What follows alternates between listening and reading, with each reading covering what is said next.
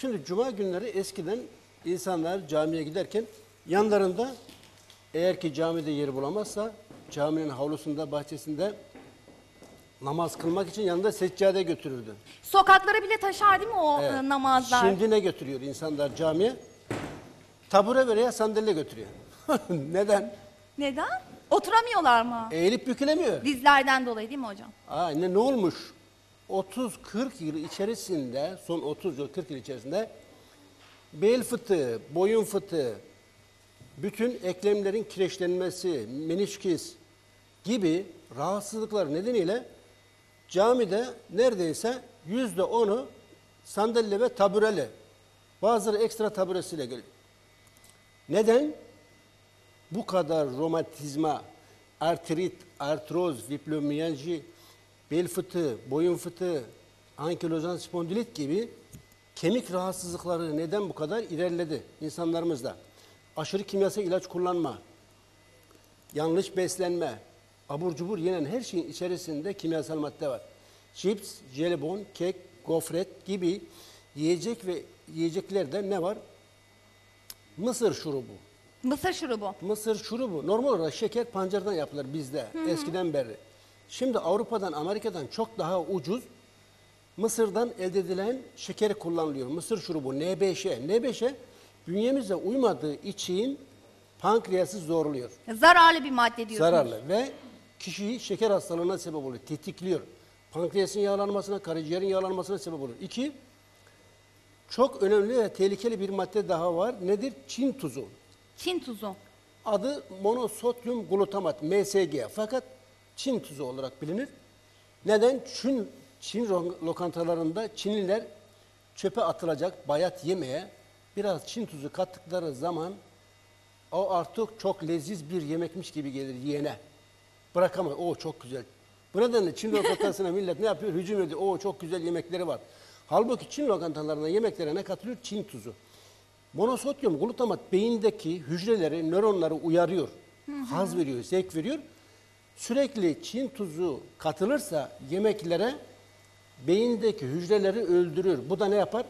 Kişide depresyon, panik atak, Huntington, Parkinson, Huntington ne hocam? unut yani unutkanlık bir şey, Unutkanlık. dikkat dağınıklığı. Alzheimer Bu da gibi. Alzheimer gibi. Alzheimer, Huntington, depresyon, panik atak gibi Çin tuzu hastalıkları tetikler. Beynimiz bunu salgılarsa problem yok. Fakat sentetik olarak alırsan birçok hastalığı tetikler. Ne yapmak gerekir? Bu tür rahatsızlığı, romatizm, artrit, artroz, e, bel fıtığı, boyun fıtığı gibi rahatsızları olan insanlar için ne yapmak gerekir? Şu görmüş olduğunuz bitki şeytan pençesi. Şeytan pençesi. Evet, kökünün öğütülmüş hali. Kakao gibi, tadı da kakao gibi. İçimi güzel, tadı güzel. Afrika'nın Namibya çöllerinde yetişir. Bu bitki her Ülkemizde türlü... yok mu hocam? Yok, dünyanın başka yerinde de yok. Hiçbir yerde yok. Bir tek Afrika'da Sadece. Afrika'nın Namibya çöllerinde İngilizler burayı işgal ettiklerinde hastalanan, yataklık olan bir subay buranın yerlileri bunun çayını içiriyorlar. Vatandaş birkaç hafta ayağa kalkıyor diyor ki ben ölecektim. Siz beni kurtardınız, hayata döndürdünüz. Nasıl oldu, ne oldu? Ha diyorlar ki bu her türlü rahatsızlığa iyi gelir. Özellikle de böyle artrit, artroz, fibromiyalji, ankilozan spondilit gibi romatizma hastalıklarına. Ve o vatandaş bunu yavaş yavaş Avrupa'da satışa sunuyor ve öylece yayılıyor. Hocam bir telefonumuz var. Hemen devam edeceğiz. Alo. Alo. Buyurun efendim. Evet. Buyurun. Televizyonumuzun sesini biraz kısalım. Alo. Televizyonumuzun sesini biraz kısalım. Evet. Alo. Buyurun. Ee, Mustafa Hocam. İbrahim Gökçek. Alo. İbrahim hocamız. Buyurun. Mustafa Hocam. İbrahim Hocam. Buyurun. Ee, hepatit B'ye ilacınız var mıdır? Hepatit B'ye hocam var, Var mı? tabii var. Var. Hepatit B, iksir, aloe vera jel, deve dikeni forte. Deve dikeni forte. Deve dikeninin ekstraktından üretiyoruz. Deve dikeni forte, sinirlot forte, karaciğer çayı, enfeksiyon çayı kullandığı zaman kişi, elimizde raporlar var. Normal olarak hepatit C'nin e, yakalanan kişinin tedavisi hemen hemen imkansız. Evet. Zamanla Allah korusun çok büyük bir kısmı siroza dönüşüyor. Yani pan, e, karaciğer iflas ediyor. Elimizde burada raporlar var ama bulmam biraz zor olacak. Belge var, bilgi var. Belge var, bilgi Her var. şey kanıtlı. Raporlar var. Hepatit C ve hepatit D rahatsızlığına yakalanan kişi siroza dönüşmeden önce bize gelirse 4-5 ay en, en kötü ihtimal iyileşir. Elimizde belgeler var, bilgi var. Kullandığı zaman bunu görecek. Kısa sürede sağlığına kavuşur. 4-5 ay diyoruz hocam Tabii değil tabii mi? tabii. Sağlıklı beslenmesi gerekir. Sağlıklı beslenmesi de çok önemli tabii ki. Tedavi- Mustafa tedavi- Bey. Evet. Mustafa düşmüş. Bey kapattı. Evet hocam. Şimdi Almanya'da bir bayan 83 yaşında doktoru buna en fazla 3 ay yazması gereken ilacı böbrek e, iltihaplam nefrit nedeniyle 20 yıl yazmış. Ne kadar? 20 yıl. 20 yıl. Kadıncağız aşırı ilaç kullanmaktan gastrit, ülser, bronşit, astım, tansiyon, kolesterol, romatizma, o sayısız hastalık. Kadıncağız sabah kalkıyor, ekmeğine tereyağı sürecek, süremiyor. Elleri böyle. Artroz. Elini böyle bükemiyor, açamıyor. Robot gibi. Benim hanım ona gidiyor, yardım ediyor. Ekmeğine tereyağı sürüyor, kahvaltısını yaptırıyor. Kahvaltı yapamıyor, tek başına kahvaltı yapamıyor. Demiş ki ya beyin herkesi tedavi ediyor. Beni niye tedavi etmiyor? Bak görüyorsun halimi perişanım. Dedim ki reçeteleri getir. Reçeteleri getirdi. Baktım ki o 3 aydan fazla yazılmaması gereken ilacı doktoru 20 yıl yazmış.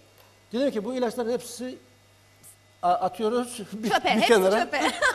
Şimdi şeytan pençesi kökü kullanıyoruz. İksir aloe vera jel Peki kullanıyoruz. bunu e, hocam e, tekrar aynı soruyu sormak istiyorum çünkü izleyenlerimiz açısından da ben görüyorum, duyuyorum da bunu. Şimdi e, dediğiniz o e, otu veya bitkiyi şimdi sizden duyuyorlar Şimdi bu- ismini ama e, şimdi buradan programdan sonra duyup e, isimleri akıllarında kalıp bir aktara gidip bu e, bitkiyi almaya Ha, Türkiye'de çalışabilirler. yok, Türkiye'de yok, Türkiye'de. yok. Aktarlarımızda da yok Sadece mu? bizde bulunur, başka yerde yok. Hiçbir yerde yok. Yok. Hiçbir firmada yok. Yok, yok, Aktarlarda yok. yok. Sadece Türkiye'de ilk sizde getiren var. benim. İlk sizsiniz. Ha, bu bayan bizim ürünleri kullandı. 6 ay sonra normale döndü. Bütün hayatı değişti. 83 yaşında. 6 ay sonra. 6 ay. Doktor Süleyman Bey, bizim aile dostu. Süleyman Bey annesi kemik erimesinden dolayı 68 yaşında bayan. Kalça kemiği erimiş. Yani framur dediğimiz kalça kemiğinin e, kemik oranı, kal, kemikteki kalsiyum oranı çok çok azalmış. Hafif bir zorlamada kalça kemiğinin kırılma rizikosu var bir. Diz kemiğinin kırılma rizikosu var iki. Protez takılması gerekiyor kalça ve diz mutlak surette. Fakat tansiyonu var, kolesterolü var, bronşiti var, var da var. Hastalık çok. Dedi ki ya annemi ameliyat ettiremiyoruz. Derin de böyle düşünüyor üzgün üzgün. Problem yok dedim. Problem değil. 6 hafta iksir aloe vera jel, kemik çayı, enfeksiyon çayı. Bu da 40 kilit forte. Kemik erimesine karşı. Hocam bir tele... Alo iyi günler efendim. Buyurun efendim. Ee, İbrahim Bey benim e, babam trafik kazası geçirdi efendim. Çok geçmiş olsun. Buyurun. Sa- Sağ olun. Ee, trafik kazası geçirdiği için şuuru kapalı şu anda. Ee, şuur kapalı olduğu için e, bundan dolayı bilgi almak istiyordum. Yani nasıl bize, bize nasıl bir öneride bulunur efendim? Ha, şu şimdi Ginkgo forte. Ginkgo beyine kan akışını artırır, beyni besler, beyinde loblar arasında oluşan plakları çözer, temizler, arıtır. 36 klinik araştırmasına 10.815 hasta katılmış. Dünya çapında büyük bir araştırma. Çeşit çeşit klinik, bir klinikte değil. 36 kliniğe toplam 10.815 hasta. Demans yani Alzheimer, erken bunama, demans hastalığı olan, rahatsızlığı olan insanlar üzerinde denenmiş. Etkisi ispat edilmiştir. Ginkgo forte, o da burada. Bir Ginkgo fortemiz forte, daha o var. da burada hocam, değil mi? Forte. İksir aloe vera jel, ginkgo forte ve sinirleri güçlendirici lavanta forte. Kullandığı zaman beyinde yavaş yavaş temizler. Mesela böyle bir beyefendi vardı. O Haluk Bey'in babası şah damarı tıkanmış. Şah damarı. Evet yani doktorlar ameliyat edilmemesi gerekir. Beyine pıhtı kaçtığı zaman felç olur. Fakat ameliyat etmişler, beyine pıhtı kaçmış, felç. Demiş ki doktoru modern tıp bitti. E ne yapacağız? Önce felç olmuş, ondan sonra modern tıp bitti. Ne olacak? Aa, yapacak bir şey yok. Alternatif tıbba bakın demişler. O da çok zatı muhterem ülemadan birisi işte ben bilginim diyen bir vatandaşa gitmiş. Demiş ki 5 ayda 10 bin euronuzu alırım ama tedavi ederim demiş. 5 ayda 10 euro. 10 bin euro. Adamcağızın parası yok. Arabasını satmış babasının tedavisi için. 10 bin euroyu ödemiş 5 ayda ama babasında tık yok. Ben aradı dedi ki adamı bulsam öldüreceğim ama ulaşamıyorum dedi. Biraz da hakaret etti. Dedim ki İksir, aloe ginkgo forte, alıç forte. Damar çayı, enfeksiyon çayı. Kullanıyorsunuz bakıyoruz. 6 hafta kullandıktan sonra yavaş yavaş konuşur hale geldi hafif. Ellerini hafif oynatır hale. 6 hafta içerisinde. 6 hafta içerisinde Evet, bütün altı hafta. problemler bitti diyoruz değil mi? Bütün Sağlığına. problem bitmez canım. O çok Ha, ağır bir bitmez, hastalık. o bitmez Yavaş ama- yavaş. Aylar sürer o. Değil mi? O çok ağır bir hastalık. Yani Devam felç etmek olan, gerekiyor. hiç konuşamayan, hareket edemeyen kişi hafif konuşur hale geldi ve e, hafif el hareketlerinde görüldü. başladı. İyileşme Hocam görüldü. kısa bir reklam aramız var. Sevgili izleyenler bizlerden ayrılmayın birazdan yine çünkü buradayız.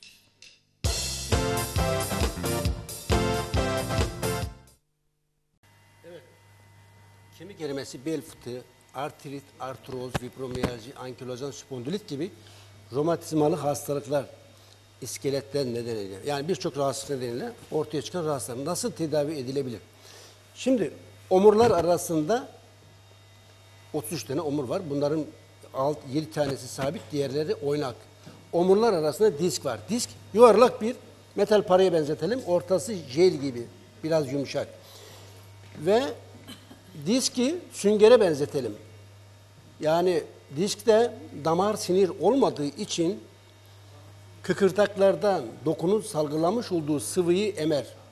Kişi mesela boyu sabah kalktığında 1.70 ise akşam yorgun argın işten geldiğinde boyu bir 68'e düşer. Neden? Çünkü sünger gibi olan disk gece yatıp dinlendiğinde kişi çevredeki sıvıyı emer 6 milime çıkar. Kişi çalıştığı zaman ağır bir tempoyla ağır bir işte 5 milime iner, içerisindeki sıvı oranı azalır, 5 milime iner. Bu nedenle kişi sabah kalktığında dinlenmişse boyu 1.70'tir, akşam yorgun argın işten geldiğinde boyu 1.68'dir. 2 santim kısalır. Kısalıyor. Şimdi yani bu bunun içerisindeki sünger gibi olan diskin içerisi orta kısmı jel gibidir. Kişi yanlış eğilir, e, hareket ederse, yanlış bir şey kaldırır, indirirse ne olur? Ortasında jel gibi olan tabaka dışarı doğru fırlar. Prolaps dediğimiz olay ortaya çıkar. Şimdi Evet hocam bir telefonumuz var hemen alalım isterseniz devam edeceğiz kaldığımız yerden. Alo. Alo, Buyurun efendim. İbrahim Bey'le görüşecektim de ben. Ama televizyonumuzun sesini biraz kısalım. Tamam. Buyurun. Buyurun. Ya benden migren hastalığı var. Küçük yaştan beri var yani. Bu baş ağrısı hiçbir türlü geçmiyor. Yani dok gitmediğim doktorlar kalmadı. Tansiyon, kolesterol var mı? Hayır. Ee, midede gastrit, ülser. Hayır. Evet. Baş ağrısı sadece baş ağrısı. Şimdi iksir, aloe vera jel, ginkgo forte, sinilot forte kullandığınız zaman kısa sürede bu rahatsızlık ortadan kalkar. Ee, migrenin sebebi yüzde 90 beyinde kan akışında bir anormallik var. Burada damarlarda yeterince dokular beslenemediği için e, yüzde 90 damarlardaki yağlanma, daralma, sertleşme nedeniyle beyinde e, yeterince sulanma olmadığı için ne oluyor? Anormallikler ortaya çıkıyor, hormon anormallikleri. Bunu şuna benzetebiliriz. Tatile gidiyorsunuz Antalya'ya, evdeki e, e, camın kenarındaki, balkondaki bitkileri unuttunuz sulamayı veya anahtarı başkasına vermeyi unuttunuz. Ne olur? İzinden geldiğinizde 3-4 hafta sonra bu bitkilerin hepsi kurur. Neden? Sulanmadığı için beynimizdeki bazı noktalar yeterince vitamin, mineral, enzim akışı olmazsa ne olur? Yavaş yavaş problemler çıkar. Bu migren yani sinyal veriyor. Hop diyor yani dikkat et ileride büyük bir problem doğabilir diyor. Dikkat etmeniz, tedavi olmanız gerekir diye uyarı. Eğer ki tedavi olmazsanız ileride Alzheimer, Parkinson, Huntington, depresyon vesaire gibi birçok hastalık ortaya çıkabilir. İksir, aloe vera jel, İksir bu gördüğünüz ürün limon suyu, sirke, sarımsak, zencefil, zerdeçal, kurkuma, longa, altın başak, otu, zeytin yaprağı, kakuli içerir. Damarların iç yüzeyindeki bütün plakları çözer. Aynı evinizde kullandığınız kireç çöz gibi. Mesela lavabonuz tıkandı ne yapıyorsunuz? Kireç çözecek herhangi bir şeyi döküyorsunuz, kireci çözüyor. Bu da damarların iç yüzeyinde oluşan ister beyindeki damarlar, ister kalpteki damarlar, ister cinsel organdaki damarlar olsun. Bütün damarları temizler, arıtır ve rahatsızlığı ortadan kaldırır. Problem değil. ortadan- Kullandığı zaman kişi Necmettin Bey. Efendim. Necmet Bey e, çok geçmiş olsun diyoruz efendim. İyi akşamlar diliyoruz. İnşallah sorunuza yanıt alabilmişsinizdir. Evet hocam. İyi akşamlar. İyi akşam. fıtığı dedik de mesela Türkiye'de ben Almanya'da bunun kursuna gittim eğitimine. Bel fıtığına yakalanmamanın yolları var. Programın başında dedim ya insanlar camiye eskiden seccadeyle gidiyordu. Yer bulamazsa caminin havlusunda bahçesinde namaz kılmak için şimdi insanlar tabureyle sandalyeyle gidiyor. Neden? İnsanların yüzde onunda bel fıtığı var veya menisküs var. Kemiklerinde problem var. Nasıl eğilip kalkmak gerekir? Eğer ki kameraman gösterirse onu bir kısaca göstereyim. Dikkat etmek gerekir. Mesela herhangi bir eşyayı yerden alırken ne yapıyorsunuz? Mesela şöyle bir ağır bir ağır değil de bu. Mesela bunu 5 kilo 10 kilo düşünelim. Kişi bir yükü alırken yerden böyle eğilerek alırsa omurlar arasında sıkışma olur. Diski ezer tek taraflı olarak bel fıtığına yakalanır. Bir şeyi yerden alırken ne yapmak gerekir? Böyle eğilmemek gerekir. Şu şekilde. hocam? Şu şekilde eğileceksiniz. Diz kapaklarını bükmek şöyle. gerekiyor değil mi o Evet. şekilde? Ve herhangi bir yükü alırken de kaslara binmesi gerekir bir kısmını. Sadece beli değil ağrını. Yani yükün bir kısmını kaslara vermek gerekir. Böyle eğildiğinde kişi yükün tamamı omurlara yüklendiği için diskler sıkışıyor ve içindeki jel gibi sıvı tabaka fırlıyor. Bel fıtığı ortaya çıkıyor. Bu da zamanla sertleştiği için sinirleri sıkıştırır. Sinirler sıkışırsa ne olur? alt tarafı kontrol edemez kişi. Allah korusun yavaş yavaş zamanla felç olabilir. Yani bacakları kontrol edemez, cinsel organları zamanla tekerlekli sandalyeye mahkum kalabilir. Yani cinsellik bittiği gibi yani defacetini dahi yapamayabilir veya altına kaçırabilir. Evet hocam. Bu nedenle hı hı. Hemen bir eğilip ka- kalkmak, yük indirmek, ev işlerinde olsun, çalıştığı iş yerinde olsun kişi bu tekniği öğrenmesi gerekir. Çok önemli. Evet, e, hocam tribünde bir e, izleyicimiz var. İsterseniz hemen onun sorusunu alalım kısaca. Buyurun. İbrahim Hocam, eee, ben sizin bu sattığınız ilaçların kavanozlardaki ilaçların hepsinin fiyatlarının hani ayrı olduğu mu? Ayrı mı değil mi? Onu öğrenmek istiyorum. Eee, bir de bu eee, ilaçların yani fa- eee, fiyatları farklı mı? Bunda bir şey söyleyebilir misiniz bize? Değil mi? E, Nasıl? fiyatlarımız uygun mu ya da her Değişiyor kişiye mu? uygun, değişiyor mu Fiyat- değil mi? Evet. Herkes ulaşabiliyor mu? Şimdi Alabiliyor mu? fiyatlar iksir 60, aloe vera jel 70, kapsüller 55. Yani fiyatlar çok uygun. Herkesinden Artı- herkes Yok ulaşabiliyor. yok. Eee, böyle kavanoz olarak mı satıyorsunuz yoksa gram olarak? Şu öndeki kavanozları görüyorum ya yani bu vaziyette mi satıyorsunuz yoksa öyle gramaj olarak mı veriyorsunuz? Ha, mesela bizim 50'ye yakın fortemiz var. Yani güçlendirilmiş bitki ekstraktından oluşan. Bu her kutu 60 kapsül içerir. 55 lira fiyatı. Anladım. 55 lira. Bunun içerisindeki ekstrakların bir kısmını Çin'den, bir kısmını Amerika'dan, bir kısmını Avrupa'dan getiriyoruz. Türkiye'de maalesef birçok bitkinin ekstraktı yok. Mesela şu görmüş olduğunuz şeytan pençesinin Türkiye'de tanınmıyor bile. Biz bunu Çin'den getiriyoruz. Bu nedenle ithalatı vesaire maliyeti yükseltiyor. Problem değil. Hocam bir telefonumuz var. Hemen telefonumuzu alalım. Alo. Alo, Buyurun efendim. hocamla görüşmek istiyorum. Buyurun. Hocam, buyur. aleykümselam. A- buyurun. Ali. Buyurun. Dinliyorum. Hocam, Buyurun. selamünaleyküm. Aleykümselam dinliyorum. Buyurun. He. Hocam bende şey var, uğraşit var. Ha bronşit. Tansiyon, kolesterol var mı? Daha öyle bir şey yok şimdiki yani. Şimdi bronşite karşı iksir, aloe vera jel, ıtır forte, kekik forte. Itır, Türkiye'de yetişen ıtır değil, Güney Afrika ıtırı. 50 binden fazla bronşit, sinüzit, faranjit hastası olan insan üzerinde denenmiş, etkisi ispat edilmiştir.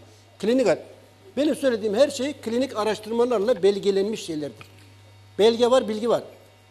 Mesela burada şeytan pençesi. Romatizmaya karşı dünyada en etkili bitki. Bununla ilgili klinik araştırmalar yapılmış. Etkisi ispat edilmiştir. Yani herhangi bir şey söylüyorsam belge ve bilgiye dayanarak söylüyorum. İksir, aloe vera jel, iksir bu, aloe vera jel bu. Artı burada ıt, şunu göstereyim. Itır forte, kekik forte. evet. Itır forte, kekik forte. Bronşit, sinüzit, faranjit. Çok kısa sürede